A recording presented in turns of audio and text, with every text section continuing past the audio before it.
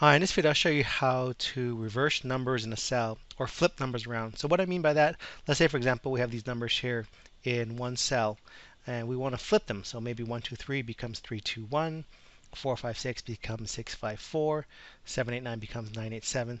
I'm going to put an example of a longer number here to show we can also do it with much longer numbers.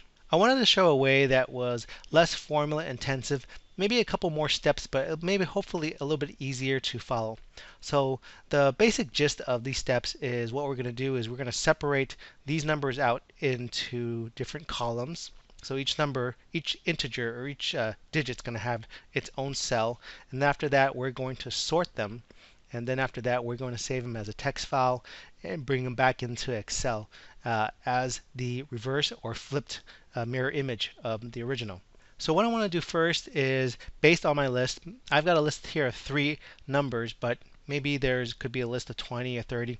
I want to find out what my maximum length of uh, this list is. So I'm going to go ahead and use the length command. So I'm, I'm going to just put in length as a header here to give me a nice little field here.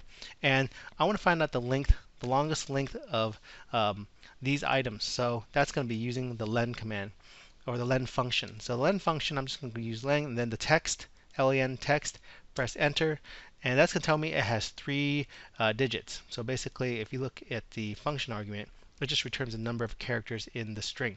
So that's three there. So if I go ahead and double click the fill handle, it's going to copy the formula down and it tells me that the number of integers or in here is 9. So that's that's going to be the most so that's going to give me an idea of how many columns out it should be. About nine columns is probably going to be my max. So what I'm going to do is I'm going to go ahead and put some headers out here that's going to count up to nine.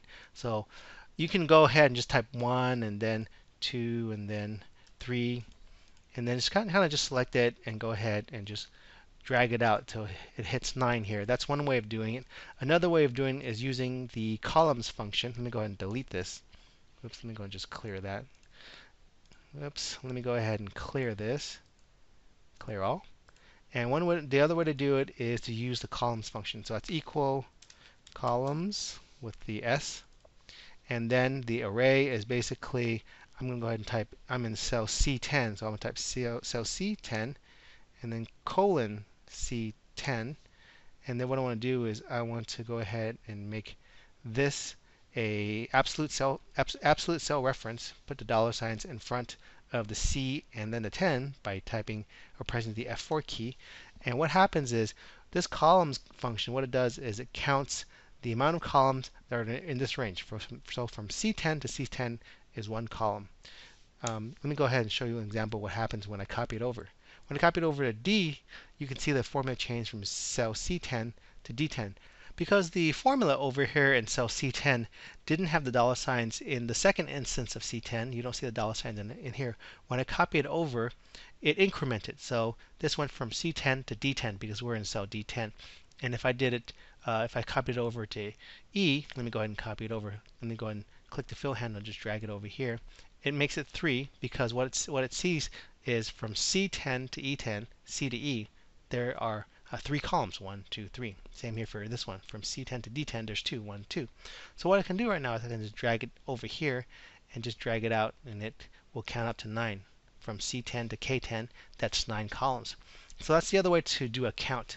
The next thing I want to do now is I want to create a formula that takes this number and breaks them out into their single digits. So the number 1 will be in one cell, the number 2 in another, and the number 3 in another. And you can use the mid function for that. So I'll just type equals MID and go ahead and open parentheses. This is, this is my text I'm going to reference. And the start number, I want to start with the first number. So I'm going to go ahead and reference this. Says because when I reference this, it's going to start when the first number here, which is here, and the second number, once I copy it over to this cell, the second number, the start number is going to be number 2, which is going to be the second number. Number 3 is going to be the third number there, and, and number 4 would be the fourth number here, but there's no fourth number. But what I want to do here is I also want to make one of these references, uh, I'm going to turn this into a mixed cell reference. Oh, I forgot for this one, this has to be a have a dollar sign in front of the A because when I copy it down, I want to have it stick, or when I copy it across, I want to have that column stick. So I, want to have the dollar sign in front. I can press uh, F4 to toggle it around, press it a couple times, make sure the dollar sign is in front of the A. I can also uh, put a dollar sign in front of the A by just typing uh, Shift 4, and that'll put the dollar sign in front of the A. Now for C10, when I'm copying this formula across, I want to go ahead and stick with this row. So I want to put the dollar sign in front of the 10 here. So I'll go ahead and press Shift 4. That's the other way of doing it. Um, put a dollar sign in front of there. And the number of characters that I want to pull out, what the mid function does is it looks at the text. It starts at the number that you want to start at, which will be number 1, because we're referencing here. And how many number of characters do we want to pull? I just want to pull one character. So I'm just typing number 1. Uh, close the parentheses, press enter, and now it's pulled out 1. If I copy this across, let me go ahead and drag this fill handle across, you can see now it's put the other digits in its separate columns or separate cells. So if I go over here, you'll see that the reference is still A11. It's this particular cell. And it's looking at D10 now. So it's looking at D10, which is 2. So I want to pull the second digit out. And I only want to pull one digit. So that's 2. I want to start from the second digit. I want to only pull one, so that's going to be number two. So the same thing happens here. Uh, I'm, I'm still referencing here in cell A11, and I want to go to E10, and which is the third. So it wants to count from 1, 2, 3. I want to just pull one digit, which is that number 1 there. So what I can do now is I can go ahead and bring this fill handle down here. It's going to copy it down. So it's going to pull out 4 here, which is the first digit. It's going to pull out 1 here, which is the first digit here. What I can do right now is I can just drag this fill handle all the way across there because uh, it'll, it'll, still copy the same formula over here, but now it's going to copy it across these blanks here. So I'll go ahead and pull it out, and it's going to do a copy. It'll copy that formula out, and so you see 1, 2, 3 is here, 4, 5, 6 are in their own separate cells, and this 9-digit uh, string or uh, number is spread out onto its own cells, right? Oops, I just need to spread it out one more. Wait, actually that's okay because this is left justified here. Just to make this a little bit easier to view, I'm going to go ahead and uh, copy the formatting of this table. We have a blue background here. I'm just going to go ahead and click the Format Painter and let's just drag it across here so it's all blue not right now. Go ahead and click that cell, copy the format, do the Format Painter, or copy the format here, and just drag it amongst these cells here. And so I've not got a nice little grid here. So once I have my uh, grid laid out here, I want to take from this count here in 1 to 9, Control C to copy, and we'll go into another sheet. And what I want to do is I want to go ahead and paste special. And the reason why I want to use paste special, there's two things I want to do with it. First thing, I want to just copy the values. I don't want to copy those formulas. I just want to copy the values. And the next thing I want to do is I want to transpose it. So I want to I want to swap it. So instead of having 1, 2, 3, 4, 5, 6, 7, 8, 9 going across, I want to have it go down and the other values would be copied correspondingly. So once I have values and transpose, I'll go ahead and click OK. And now you'll notice that it's transposed them. So uh, th in this instance, it was going across here like that, but now it's going down. So once this is uh, this is done that way, I want to resort this. So instead of having it go 1 to 9, I want to have it go 9, 9 8, 7, 6, 5, 4, 3, 2, 1. So this is all selected now. I'm going to go ahead and go under Sort and Filter, go to Custom Sort, and then sort by column A. And I'm going to go from largest to smallest. So I'll click OK there. And now I've got my 987654321 and I've got this now. Now, all I need to do is just copy the numbers that I have. I want to do now, what I want to do now is I want to retranspose it again. So I'm going to go ahead and select these range of cells. These are the numbers I want to swap around. Copy, go to sheet 3, and then just go ahead and transpose. So I'm going to go to paste, and this is the transpose command icon. You can see when you hover it over it, it tells you transpose. And basically right now I've got my numbers that are transposed. So 1, 2, 3 is 3, 2, 1 now. Uh, 4, 5, 6 is 6, 5, 4. But the thing is, it doesn't reside in one cell. So there's a couple more things I want to do. I want to go ahead and select these range of cells, uh, copy it, and then I'm going to bring up a text editor. I'm just going to go ahead and bring up Notepad. Once I have Notepad available, I'm going to go ahead and just paste uh, my copied range here. So I'm going to once I paste that, I'm going to go ahead and just save it now and I'm going to just save it as a test. Save it on the desktop, just call it test. And then make sure I save it as a text document. Go ahead and click save. I'll go ahead and close that now. And now I just need to do is open up that text document. Just press Control O to open, and let me go ahead and find the uh, document. So here's my test document. And make sure that you select the appropriate uh, text file and we can go ahead and click on that and click open.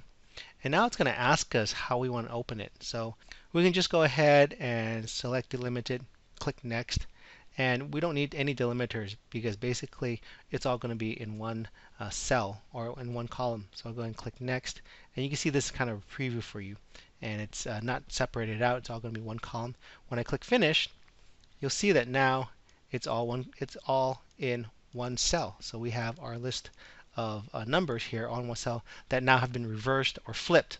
Now one thing to also notice is if we're copying this bunch of uh, numbers into a text file or something else, this probably would be fine. But if we're going to use these numbers and we want Excel to see them as, as numbers, we need to do uh, one more thing. The way that Excel sees numbers versus text is with text, Excel left aligns it. With numbers, Excel right aligns it. So right now it's left aligned, so it's telling us that this is text. And also what you might notice is if you click into the formula bar, we have all these extra spaces there. So that's probably another reason why, reason why it thinks it's text. So we want to clean that up. So to clean that up, we can use the function called clean.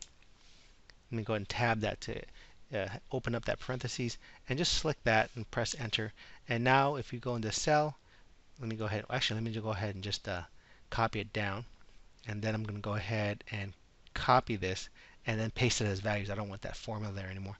So once I paste it as values, I go ahead and select this command here. It's going to that formula disappears and now it's a value. And also look, the spaces have disappeared. And if I click on each one of them, if I click on each one of them, it will write a line. Now there's a couple ways that we can make these values in the cell numbers instead of text. And I'll show you one way. We can just go ahead and copy this cell go back to the home, copy, and then select this column and go under paste and go into paste special and just add. We'll just add. So basically we're adding zero. And once you perform a mathematical function on a cell that has numbers that are being seen as text, it's going to turn it into numbers.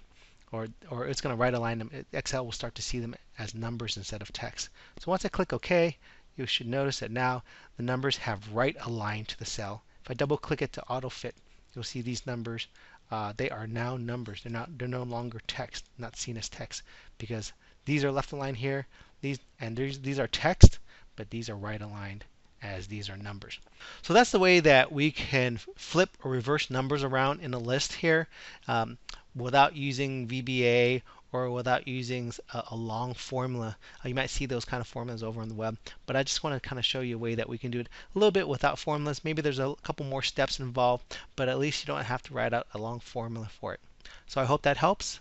Thanks for watching.